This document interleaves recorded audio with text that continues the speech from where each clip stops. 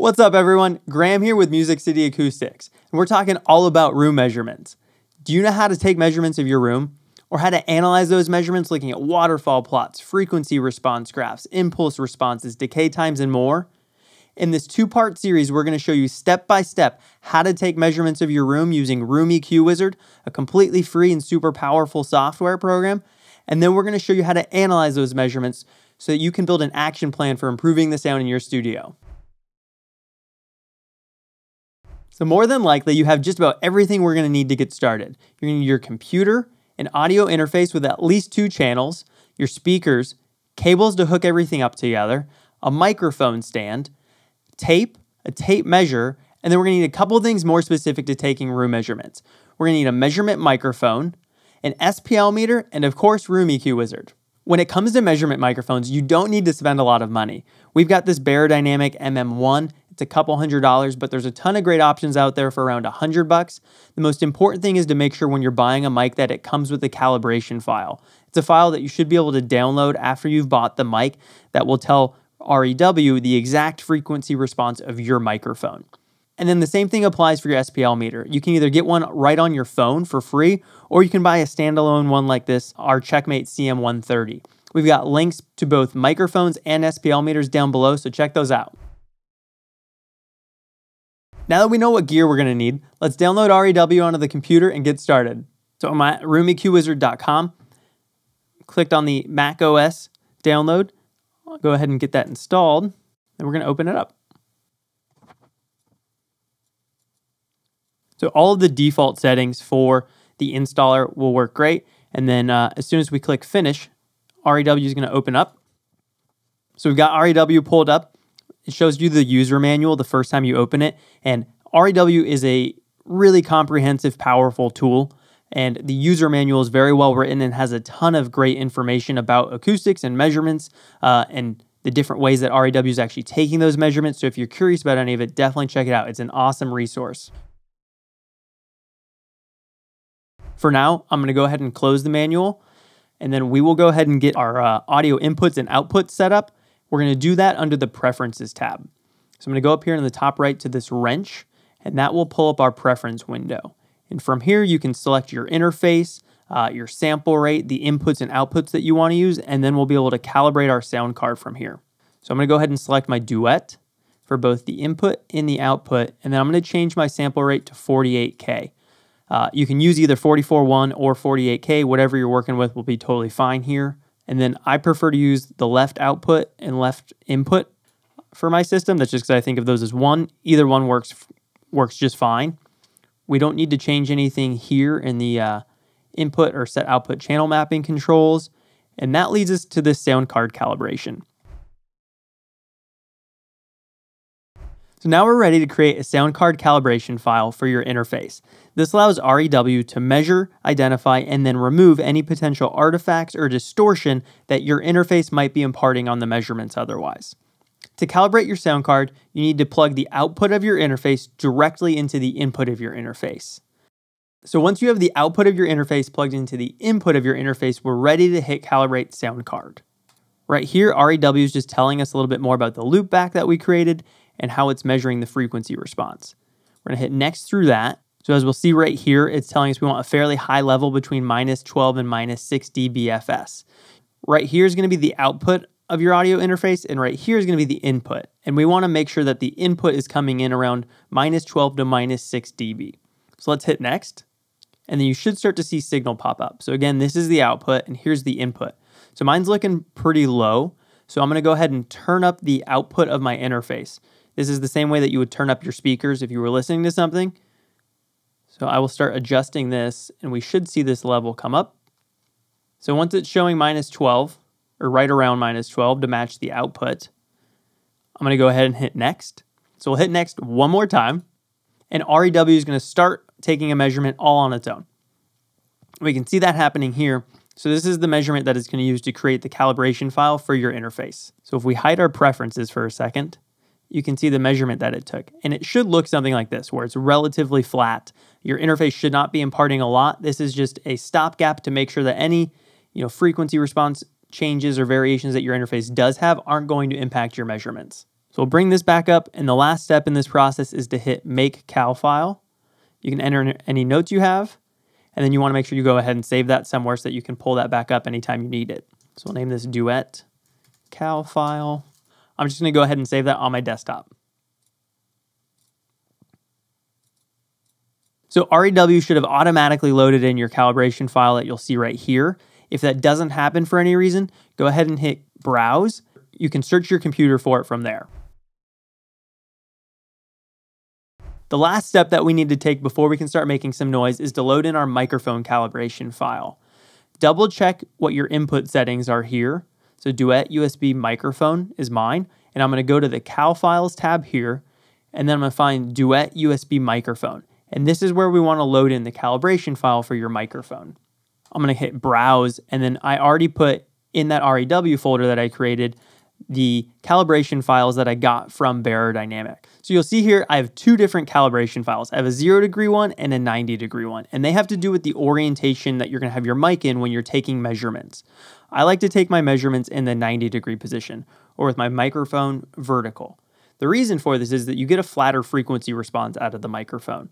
When you orient it horizontally, you get a buildup of pressure at high frequencies when it's pointed directly at the speaker. If you don't have both calibration files, this isn't a huge deal. It is mostly just a difference that occurs at really high frequencies and most of what we're looking at in our measurements is going to be lower in the frequency range. And then the whole reason for this calibration file is that every microphone has its own frequency response.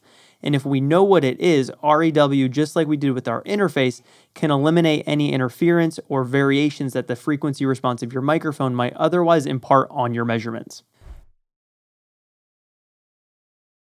Now that we have calibration files for both our microphone and our audio interface, we need to calibrate the input level into REW. To do this, I'm going to open up the SPL tool. This allows us to move the microphone or our speakers and to compensate for the level changes that those might introduce so that we can compare apples to apples different listening positions or different speaker placements and know that what we're seeing is the change in placement and not just a change in distance from our microphone to our speakers. For all my measurements, I like to use 80 dB C-weighted for my reference level. This makes sure that I have a good signal to noise ratio and that background noise won't be a problem with any of my measurements. So let's jump in and I'll show you how to calibrate our input level. We're ready to start making some noise. I've got my measurement microphone, my SPL meter, and the SPL tool pulled up here in REW. I'm gonna go ahead and click on calibrate here. And that will pull up this dialog box that says choose signal source. I'm using a speaker for these measurements instead of a sub. So I'm gonna go ahead and select speaker cal signal, and then we're gonna hit okay. As soon as you hit OK, REW is going to start generating a signal. So make sure your interface is turned down before starting this. So take your SPL meter and hold it right next to your measurement microphone.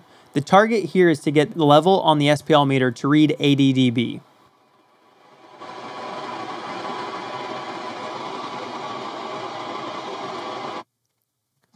So my SPL meter was reading right at 80 dBc but I wasn't getting any signal from my microphone. So I got this warning here that says the input level is too low. If this happens, just make sure phantom power is turned on, or like in my case, that your mic gain isn't turned all the way down. So I'm gonna go ahead and do this process one more time.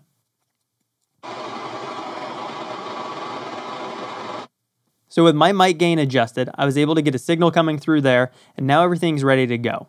Now we can go ahead and close out this SPL tool. Anytime that you move your microphone or your speakers, just pull it up and recalibrate things real quick so that every measurement you take has a consistent reference level. We're finally ready to start taking measurements. I'm gonna go up here to the top left corner and hit measure. That brings up the measurement window. There's a lot of options here, so let's walk through everything and then we're gonna be ready to start taking measurements. So the first thing I wanna do is name my measurement.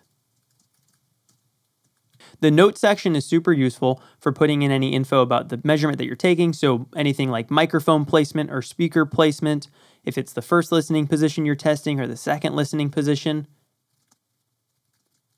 So right below notes, we have the range, and that's gonna be the starting and ending frequency for your measurement. I like to have my measurement start typically at 15 hertz, so just below what we can typically hear, and then going up to 20,000 hertz is fine for the level, I just leave this at minus 12. That's what we calibrated the system at, and everything should be working great there. Up here in settings, we have the length of the sweep that REW is going to take and the number of repetitions. I prefer to set this to 512 and at least two repetitions. The more accurate that you want your measurements to be, the longer the sweep should be and the more repetitions that you should take so that REW can average those out and provide you with a more accurate result of what's actually going on in your room. For our basic measurements, we don't need to change anything here in timing. Under protection, we'll leave abort if heavy input clipping occurs. The next thing that we need to adjust is the delay setting here. I like to push this up to around 6 seconds so that when I hit start measurement, that measurement doesn't actually start for 6 seconds. That gives me time to move away from the microphone or to leave the room so that I'm not interfering at all with the measurements that I'm taking. The last thing that we need to check on is our output and input settings. Your input settings should stay pretty consistent. So your output settings will change depending on whether you're measuring your left speaker or your right speaker or both. I'm going to start with my left speaker, so we're going to leave this as it is. But if you click on this, you can change it to your right speaker or your left and right speakers, and then you can take different measurements depending on what you're going for. Our calibration files are already set in our preferences, so we don't need to do anything here, but if you click on it, you can just double check that everything's loaded correctly. Now we're ready to take our first measurement. All we have to do is hit start, and REW will do the rest.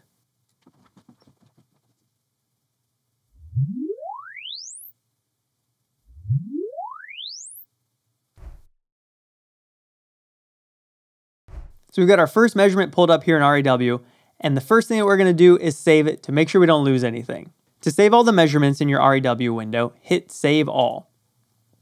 You can add any notes that you want, and then you can name it and choose where it's gonna be saved. Now that you've got your measurements saved, you'll be able to pull them up anytime, or you can also send them off to us if you're looking for help with your room. We're happy to help you analyze them and give you input on how to treat your room. Before we wrap this up, I want to talk a little bit about what those measurements should look like and the expectation levels that you should have for your measurements. So to give you some context, the best studios in the world have a frequency response that falls around plus or minus 3 dB, and the best home studios have a frequency response that normally falls between plus or minus 5 dB, sometimes even a little bit higher. So there's gonna be a pretty wide gap from top to bottom in terms of your frequency response, and that's totally normal. Let's take a quick look at the measurements we took here in my office, and I'll show you a little bit more about that. So I'm going to quickly hide our phase, mic cal, and sound card cal, so we don't need to be viewing those. And then we're going to zoom in here a little bit on our measurement. So I'm going to change these limits in the top right corner. I'm going to drop this down to 100 and then pull this up to 50. And this is basically just going to zoom in our measurements. And we can see here the bottom level in my office is around 72 dB. And excluding this big peak here, the top level is right around 90 dB. So that's about in a plus or minus 9 dB range for my frequency response. That gives you 18 dB from top to bottom, from our lowest level to our top. So that's quite a bit, and we will definitely would want to see that smoothed out if we were treating the low end in here. For a room that doesn't have any low end absorption or any bass trapping in here, you should expect to see some pretty crazy uh, jumps from the bottom of your graph to the top of your graph, and that's totally normal. It just means this office has a lot of room for improvement if we were trying to turn it into a mixing room. In part two of our series on REW, we'll walk you through how to analyze your measurements and break down what's going on in your room. We'll take you through waterfall plots, frequency response graphs, impulse responses, decay times, and even the room simulator in REW. I hope this video was helpful and gives you a jumpstart on taking measurements in your room. If you liked it, please like and subscribe to our channel, and we'll see you in the next one.